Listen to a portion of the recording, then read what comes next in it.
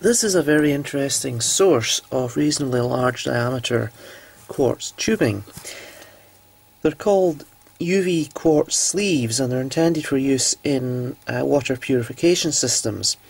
Uh, a UV bulb goes down the middle and uh, water flows around the outside and the UV light kills off bacteria and stuff. You get them for drinking water, uh, ponds, swimming pools, stuff like this. And uh, these quartz sleeves are available as replacements.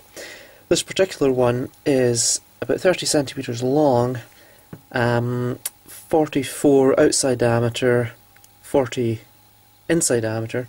This is a wall thickness of 2 millimeters. It has a closed end and a nice flange at one end.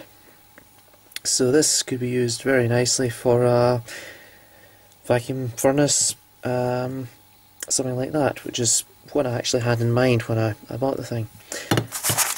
Best part is that it only cost about 12 quid. So very cheap, very inexpensive.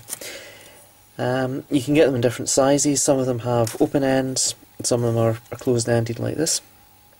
Unfortunately, they are generally sold as for a particular uh, type of, of UV uh, sterilizer. So this is a 24 watt Hydroforce 30,000 and uh, generally they don't tell you anything about the actual dimensions.